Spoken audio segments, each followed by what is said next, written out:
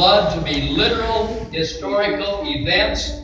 Matthew 24, verses 37 through 39. In Luke 17, 26 through 27, Jesus treated Noah, the ark, and the flood as literal events. End of story. They were real. For Jesus, Jonah and the great fish was no was no uh, fairy tale. Jesus not only confirmed the historical idea of Jonah being swallowed up by a great fish in Matthew 12, 39 through 41, Jesus identified the fish to be a whale. And nobody before him had ever done that.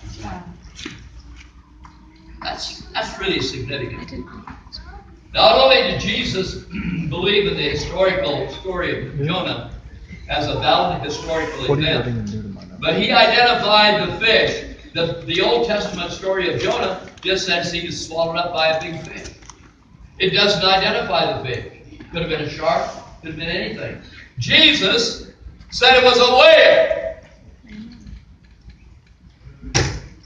That's that's that's how Jesus literal interpretation. Jesus identified Sodom and Gomorrah as a literal event. Matthew 10 15.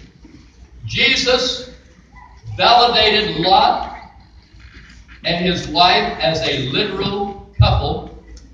Historical fact, Luke 17 28 and 29. We just go on and on with this idea.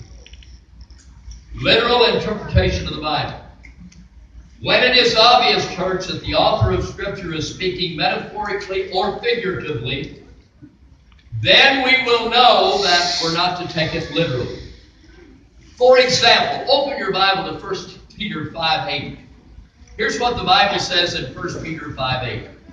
Be sober, be vigilant, because your adversary, the devil, is a roaring lion walketh about seeking whom he may, uh, whom he may devour. Now, all of us know that Satan is not a lion. Don't.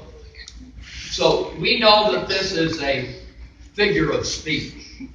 It's trying to show us through the prowess of a lion that Satan is stalking the earth, seeking whom he may devour.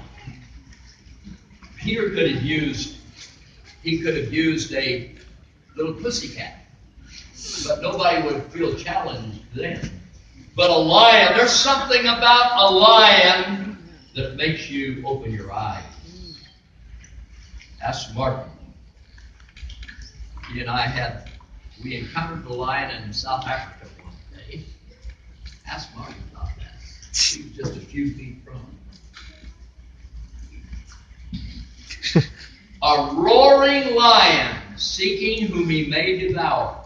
Now that is using metaphorical, figurative language to teach a real truth and emphasize how real, how potentially dangerous our adversary is. There are Americans today going to church who do not even believe there is a devil.